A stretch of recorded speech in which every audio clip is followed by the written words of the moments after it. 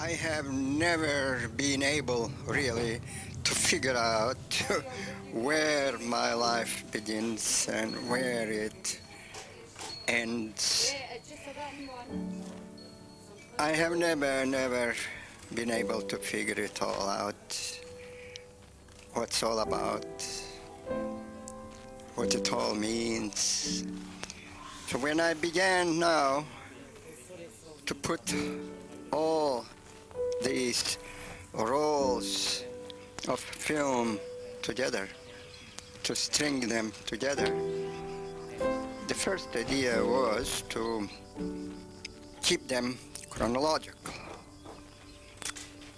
But then I gave up and I just began splicing them together by chance, the way that I found them on the shelf.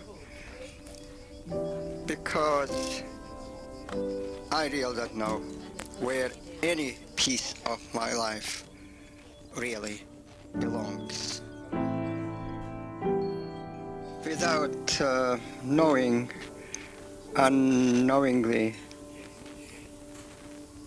we carry, each of us, we carry with us somewhere deep some images of paradise. Maybe not images, some vague, vague feeling where we are in some place. There are places, there are places in which we find ourselves in our life.